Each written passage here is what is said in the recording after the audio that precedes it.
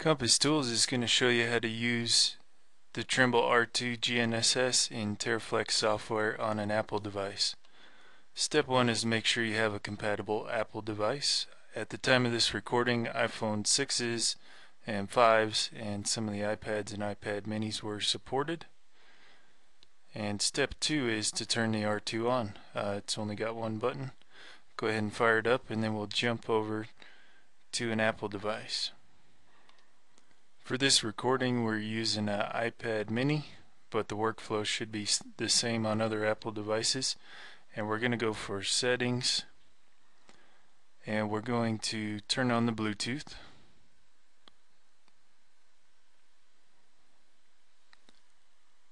And because the R2 is turned on it will show up as available.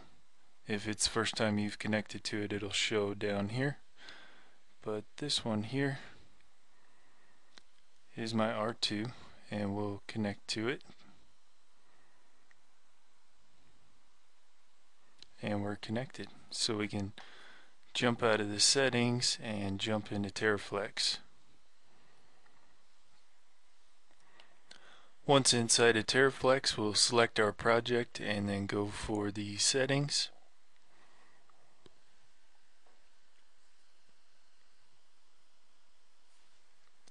and it's using the internal and we want to do better so we're going to use the R2 that we just paired by Bluetooth.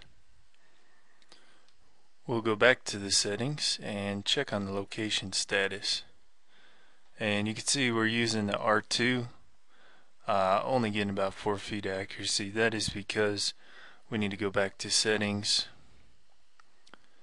and enable a real-time configuration. But uh, that's not configured on the handheld. That's configured in Trimble InSphere so you can pull up any web browser and go to trimbleinsphere.com log in. Uh, there is a free 30-day trial if you don't own this software. But once you're logged in you'll click on your organization then click on real-time configurations and we'll go ahead and build a new one. Add a configuration.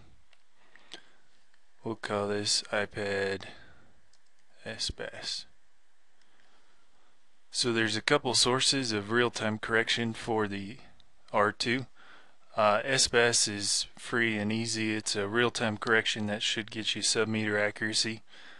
RTX is a similar service from Trimble these are both satellite based and it would be helpful if you could see south um, but if you're in a heavy canopy maybe an RTX correction over the internet would work better.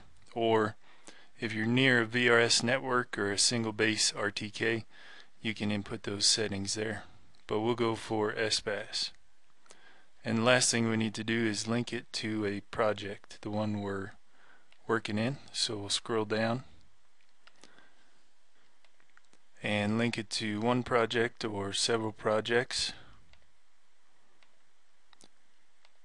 And we'll jump back over to the iPad.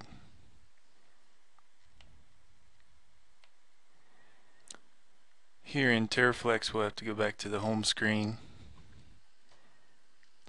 back to settings and do a sync. But then that real-time correction will be available to us so we'll go back into settings and click on real-time configuration. And there it is iPad SBAS now we can go back to the location status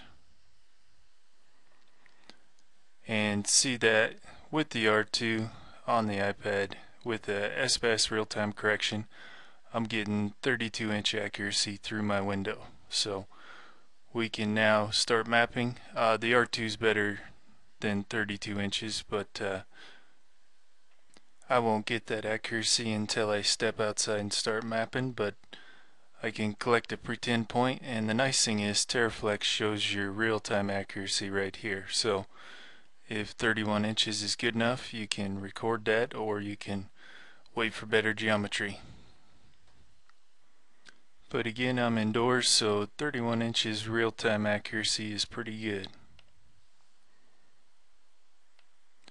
So that's it for this recording. If you have any questions, you might check out blog.compasstoolsinc.com or for specific questions, go ahead and email us at support at compasstoolsinc.com.